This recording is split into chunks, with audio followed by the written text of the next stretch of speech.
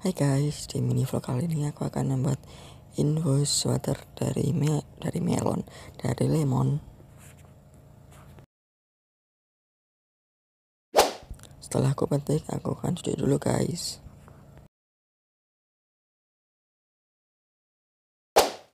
Setelah dicuci, aku potong-potong dulu guys. Di sini aku skip-skip biar nggak kepanjangan videonya.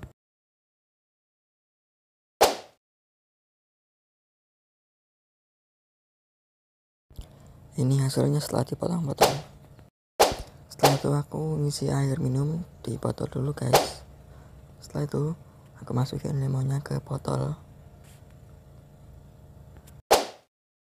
Udah selesai guys. Aku tutup botolnya. Setelah itu aku akan masukin ke kulkas. Jangan lupa subscribe and comment